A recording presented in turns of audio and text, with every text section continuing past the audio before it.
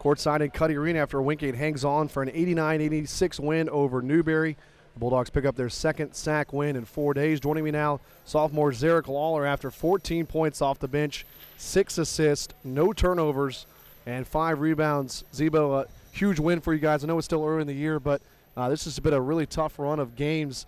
How much of the beginning of this season kind of prepared you guys for a game like tonight? Because that was 40 minutes of really furious pace and uh, tough ball game. Yeah, I mean, like we've obviously we've played at home. We've played against you know number 20 team in the nation and number six team in the nation. Beat both of them. You know we've played some also great teams in Conference Carolina. So you know playing those hard teams, like Coach said, you know you're not going to have a successful season unless you play some tough teams. So you know we got those tough teams, we got those wins, and now coming against Newberry, a team that likes to run, a team that likes to you know play physical, that was perfect for us. It just felt like you you had no possessions off to just kind of relax. I mean every possession when you got the ball in bounds was just so much pressure. First of all, how hard was it to deal with that?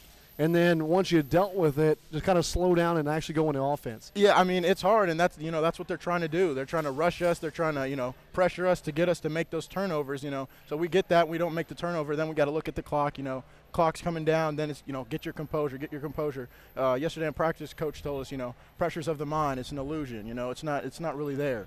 You know, so you know I kind of took that. My team took that to heart, and that's what that's what made us get this win. Saw you out here working earlier on the shooting machine. And again, you know, for your standard, as good a shooter as you are, a little bit of a slow start, but mm-hmm. six of 11 tonight, 14 points, and really dished the ball as well. You know, uh, what is it about a good shooter? You're a great shooter. Sometimes early in the year, it just takes a little bit to get going. Yeah, I mean, sometimes you know, with shooters, you, you know, you, you always got to shoot. You know, I, my dad would always tell me, you know, if you're, you, you think, oh, I missed one, you, shoot it again. You know, you got to got to get out of a slump. If you're in a slump, you're not going to get out of that slump if you're not shooting. You know, so I got to shoot it and you know pass it as well as that showed on the stat board. Not saying it's against Isaiah, but he, you know he's one of your best players without a doubt. But to win a game like tonight without him, you know, this got to mean a lot to the team to say, hey, you know, Mike went down in the Mount Olive game, still won it. Isaiah didn't play tonight, still won it. I mean, this has to mean so much to the team to be in these moments early in the year. Oh, so much. I mean, that just shows how good we can be. I mean, you know, someone comes out, someone's hurt, another guy's ready to come in, step in. You know, Isaiah got hurt in the last game. Kerrigan came in and ran the four. You know, Mike got hurt. You know, Josh came in, had a great game. So that just shows how dangerous we are and how good of a team we are because we can all fill in that role bench points tonight 39-31 and that just never happens against newberry. You know they five in five out every time. So for to be able to be that close with their bench you had a, a big lead on that.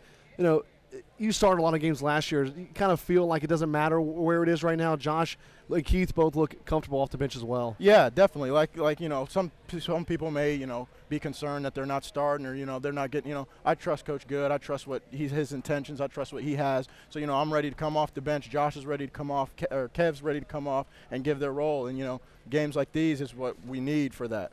Zeriq, great game, man. 14, 6, and 5.